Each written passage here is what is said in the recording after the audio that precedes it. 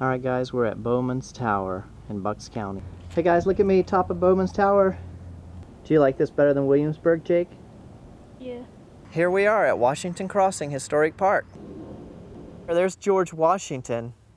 He was one of our great presidents. Near this spot, Washington crossed the Delaware on Christmas night, 1776. Oh wow, I think this is Washington's boat.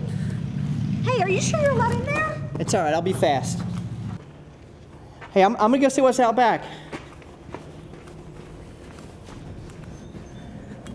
What the heck? Hey guys, come take a look at this sign. More. How about, how about that? nice. That no, it's nice. not. It's not straight. This is good. What do you think? You like? More to the right. I've expressed to my husband that we need to get back into the White House. This is great. No, no, you. It's just. Uh, this is good. Really, I do. He's brilliant. Just putting up the banner today. How dedicated he is to his work. All right. I'm going I to was it here again. first. Ah, look. It's not straight This is, though. this is great. Brought me back to the old days. So valiant. It's wrong. It looks glorious. Are you blind? Look at it. More to the right. No. How about What's now? your footwear? We've talked about this. He really believes in what he's doing, but I don't think it's going to be enough. I was here first. Ah. What is this, Obama? I will challenge him to a duel. No. We need more help with this than even I was willing to admit. Hello. Hi. Thank you so much for coming. Just get lower. Thank you. Hello, it's very Hi. nice to meet you.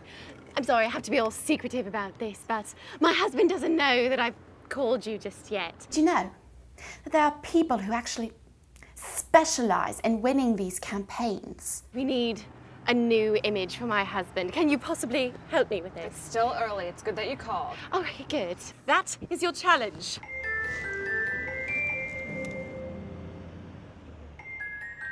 Image, just brand new. We can fix this. I got Bush elected twice. Really? No, but I stole a lot of their ideas. Okay. You see, I know people who know people. They might be exactly what we need. I think this will actually work out quite nicely.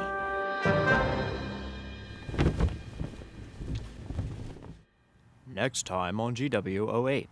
How do you stand on important issues such as um, the Whigs?